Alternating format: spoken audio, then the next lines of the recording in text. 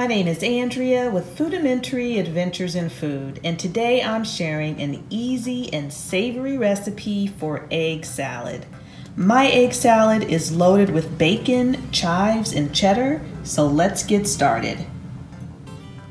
So I have already boiled and peeled my eggs and they are completely cooled down.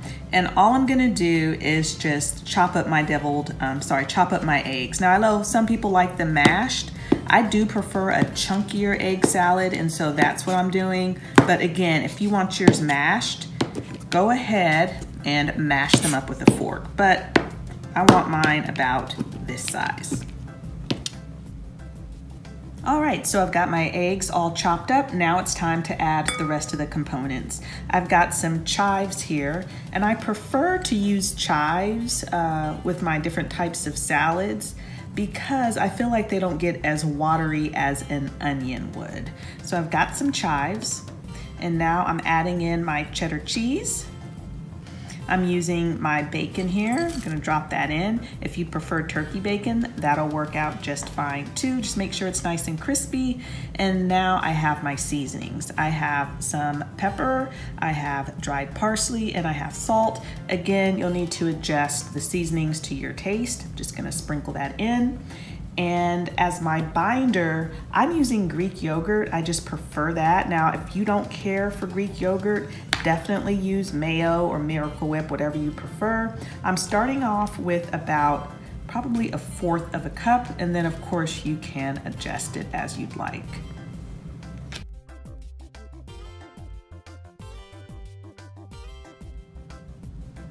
So here is the egg salad all mixed up. I ended up adding another fourth of a cup of Greek yogurt and here it is, I just plated it in a bowl here. And if you have someone who is not a fan of Greek yogurt, you really can't taste it in here at all. Now, I know a lot of people like to serve their egg salad um, on crackers or on a bed of lettuce or just on a piece of uh, white bread or make a sandwich out of it. I'm gonna show you how I like to serve my egg salad.